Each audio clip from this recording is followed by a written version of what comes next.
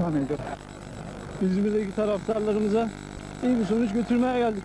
Altay'dan setini daha geri doğru taşıdı. Erdeniz'in vuruşunda top dışarı gidiyor. Rıdvan ve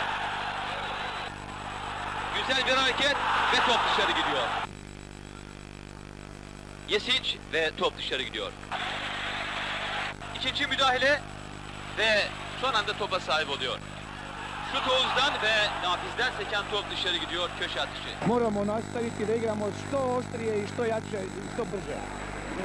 Birinci devre oynadığımız futbol biraz e, yavaş oynadık ama ikinci devre zannedersem biraz daha hızlı, daha atak ve daha iyi futbol oynayacağımıza emin ediyorum. Tabii Fenerbahçe bir sene daha etkiliydi. Ama çok büyük yine etki yaratacak bir olayı yok Fenerbahçe'nin. Şunu kullandı. Kafa vuruşu ve top ağlarda gol.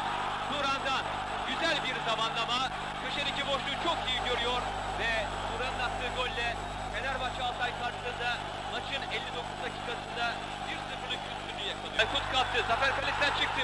Aykut topu ağlarına vuruyor ve gol. Fenerbahçe'nin ikinci golü. Aykut çok akıllı bir hareket yaptı. Ve Adnan'ın vuruşunda Schumacher tehlike önlüyor. Rıdvan kalesinden Zafer çıktı. Kale bomboş ve top ağlarda. Rıdvan üçüncü gole adını yazdırıyor. Oğuz, Serdar ve Zafer.